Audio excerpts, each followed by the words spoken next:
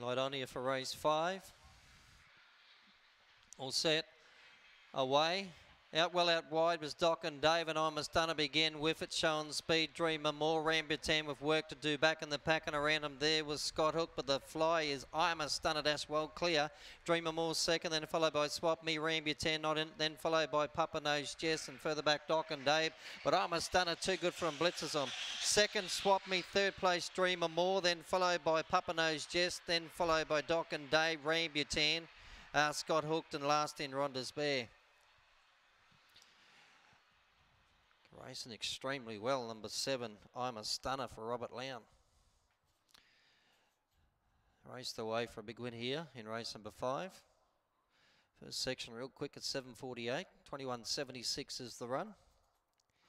I'm a stunner over number two, Swap Me, 21.76 that time, 21.76. It's racing extremely well. I'm a stunner. So the uh, eight starts now for five wins in one second. Just uh, began well out wide and challenged for the lead and got to that first section in front.